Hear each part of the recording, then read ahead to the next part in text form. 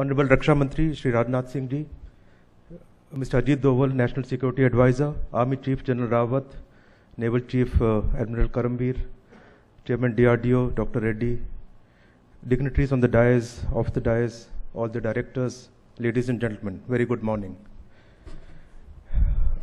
Technology leadership, I think, is the crux that uh, defines DRDO, that should define DRDO, and where the interest of Air Force lies. And as is customary on such occasions, I will start with praise of DRDO,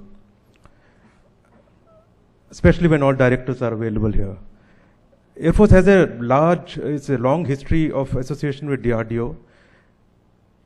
And the importance of DRDO was realized when um, many years back in 70s, we were badly off in our basics electronics, the electronic warfare system. We were well behind our adversary. And uh, that is when DRDO stepped in in uh, late 70s, early 80s, and we had the very first electronic warfare induction into the Air Force. And that is what gave us technological parity, not, not uh, advantage, but parity for sure. And thereafter, in terms of electronics, communication, uh, we had a long association with DRDO, starting with Troposcatter system in the 70s, uh, which uh, uh, did uh, very well, became the backbone of our entire air defense network. Uh, I mentioned the electronic warfare system. there were simple innovations like the radar warning receiver, and the combination of radar warning receiver and electronic warfare changed the way Air Force undertook the operations. That it changed our entire tactics our entire ability to go on the offensive, entire ability to penetrate uh, deep into their airspaces. So that, that was technology leadership. Uh, thereafter, uh, in both this field, communication and electronics, there were good developments. And another project that I would like to highlight, which was really successful, and uh, we looked after it with great interest, was the Indra radar. That's the first time uh, that a low level radar got developed and uh, we were able to utilize it on our critical areas and have a decent low level pickup. Till then we were uh, depending on our personnel deployed who would visually see the aircraft and report. So that is how again we got technology parity in this range, uh, regime also. In the 80s, the LCA started. Uh, it took time, but uh, the 40 years gap was finally caught up. And while uh, uh many uh, think that LCA uh, took too long and wasn't so successful, in terms of technology, it was a hugely successful project. I'm surprised that many of the people involved in LCA have not discussed it as much as it should be. And just to comment on some of this uh, technology leadership in the LCA program. The fly-by-wire quadruplex digital was the very first one in India, and even as on date, it is world-class. It is much ahead of any other aircraft that we have. We had, for the first time, uh, uh, near glass cockpit, we had computerized based system, although we have computerized too many systems, including brake management, which started failing. But nonetheless, it, it, uh, uh, it was a decent attempt, a very good attempt, and we had a navigation attack system which was good. The other uh, area where we took leadership with this project was the composites. And with 40 to 45% composites material, this was again for the very first time that in our uh, you know, indigenous development, aircraft of this level of composites got into the air.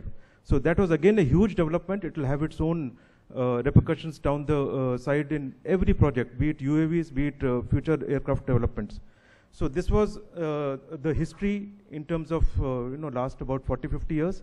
All the current projects which are successful, uh, Chairman DRDO has already mentioned, so I won't repeat, but just touch upon two, three very important ones, wherein apart from uh, the technologies of LCA, what has been really successful for the Air Force is the A, uh. It's a huge success. Uh, we are uh, looking forward for further development of it. And the advantage of the indigenous technology is that we are in continuous dialogue and we are able to change the specs and change the requirements as we go along and get higher performance. So this is a project which we are uh, really looking forward to improve further. Uh, th- there are areas of uh, uh, radars which have come up uh, beautifully, uh, be it uh, Rohini, uh, triple LWR, um, medium power radars, mountain radars. There is a airborne AESA under development, Uttam. For the first time, precision weapons have started to become successful, the, be it LGB or be it GPS guided. And we have air-to-air BVR missile successful Astra, which is a huge success. It again brings us on parity. This was the area that we were behind the, our adversaries, uh, and not counting on Rafale, which is already giving us an edge. This again gives us almost similar parity to anything that the adversary has. So it's again a huge success. I will not go into the current success areas, but uh, uh, uh, really go into uh, what the Air Force is looking forward for technology leadership in time to come, in, in the years ahead. And, and start with two, three important programs, starting with AMCA, uh, which uh, we have said that uh, uh, it has already taken off. It's a DRDO project. ADA is going to look after it. Uh, it's a fifth generation, but it's, it is fifth generation just as a definition. It doesn't mean that uh, people involved in AMCA limit the technologies to the fifth generation. The techno- technologies would be fifth generation and sixth generation. So while we call it AMCA as the fifth generation, please understand that the technologies is something that we need to define in consultation with DRDO, and that's where you need to take the lead. And in terms of technology, uh, and, and this is one project uh, that people concerned in DRDO must make it happen. You're already aware that uh, aerospace majors are already accusing the Indian Air Force of forgetting the lessons of LCA. So the MCA must succeed, and uh, it is not only your ijat at uh, Air Force ki bhi ijat ka sawal hai. So MCA needs uh, a lot of attention. And why I'm defining uh, the technologies in MCA is because that is where we lack when we take a system from abroad. We get restricted by the technology or the weapon available, and there is a 10-year cycle if we have to change it. In AMCA, we want to have control, and we are saying upfront that do not, uh, uh, you know, uh, we are going to change as we go along for the next five years. Thereafter, in the next block, the technologies that we are going to demand, the weapons that we are going to demand. And do not, for God's sake, say that you are changing the specs. We are going to change it. We are telling you up front. We will improve the technologies as we go along, and we will ensure that we uh, maintain an edge. There are area, areas that you need to look at, be it AI supported system, data fusion, which is going to be a huge uh, uh, effort here, the radars that need to come up on this aircraft, uh, with the ability to pick up low RCS. While stealth and low RCS is being touted as the greatest uh, uh, requirement of the day, believe me, in about five to ten years, nobody will talk about stealth as much because the radar development is taking uh, is going on at a pace where you will pick up low RCS aircraft also at sufficient distance to launch your missiles.